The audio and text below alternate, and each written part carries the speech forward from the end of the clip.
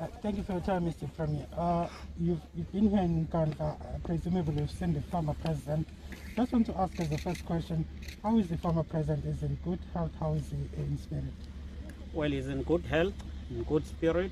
Uh, he came uh, to uh, be part of the funeral and pay his last respect to his younger brother. And I think we should applaud and thank the correctional services for uh, ensuring that he participates in the send off uh, of his younger brother. Mm. Mr. Premier, I'm just wondering the other questions that were you able to engage and talk with him?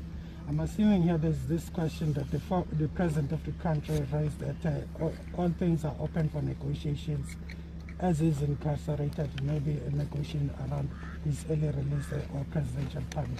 Were you able to engage around those matters? I think it is better to leave those matters to authorities that are uh, uh, eligible to process that.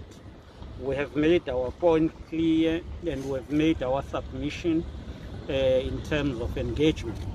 And I think it is better that uh, the authorities, such as the minister and the presidency, handles that.